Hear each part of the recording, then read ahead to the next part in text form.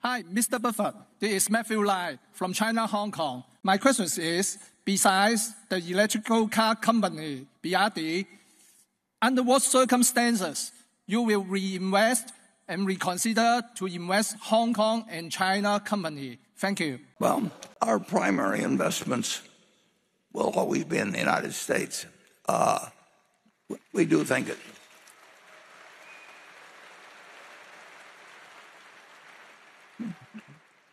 The companies we invest in in the United States, American Express does business around the world, and no company hardly does business around the world like Coca-Cola. I mean, uh, they are the preferred soft drink you know, something maybe like 170 or 180 out of 200 uh, countries. Those are rough approximations from a few years back, probably. But but that degree of acceptance worldwide is, I think it's almost unmatched. I can't really think of any company that has it. American Express has a position in the credit card field, which I think is extremely strong. And part of that was one of the direct, part of the reasons for that is one of the directors that I introduced a few few minutes ago, Ken Chenault. But it has strengthened dramatically over the last 20 years for a lot of reasons. Uh, We will, uh, the BYD investment was a uh, and Well, we made the we made the commitment in Japan, which I did five years ago, and that was just overwhelmingly was compelling. It was extraordinarily compelling.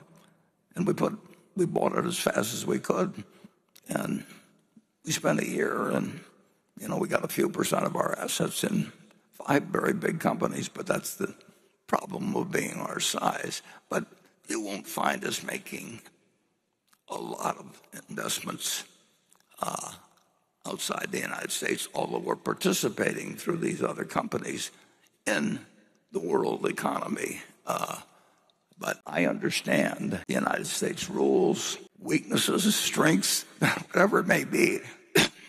I don't I don't have the same feeling for for economies generally around the world. I don't I don't pick up on other cultures extremely well. And and the lucky thing is I don't have to because you know, I don't live in some tiny little country that has no uh just doesn't have a big economy. But I'm in an economy already that has, you know after starting out with a half a percent of the world's population, has ended up with well over 20% of the world's output in an amazingly short period of time. So, so I, we will we will be American-oriented. Uh, uh, I mean, if if we do something really big, it's extremely likely to be in the United States. Charlie, in all those years, there's only two times he's told me that you know, this one is really He would he would always go along with me and um, say, well, when I was suggesting something, he'd say, "Well, this is really not that great, but but it's probably the best you'll come up with, so I'll go along with the idea." Uh, but uh, but Charlie Charlie twice has pounded the table with me and just said, you know "Buy, buy." Buy and uh, BYD was one of them, and and Costco was the other. We bought a certain amount of Costco, and we bought quite a bit of BYD. But looking back, uh, he already was as aggressive, but I should have been more aggressive uh, in Costco. It wasn't fatal that we weren't, but he was right big time in both companies. I'm aware of what goes on in most markets, but I think it's unlikely that we make any large commitments uh, in almost any country you can name, although uh, you know, we don't rule it out entirely. And uh, I feel extremely good about our Japanese position, and we'll have that, uh, um, I don't know how many years. Greg will be sitting with that at some point, and we couldn't be happier with that. But you really have to, we really have a different outlook in looking at,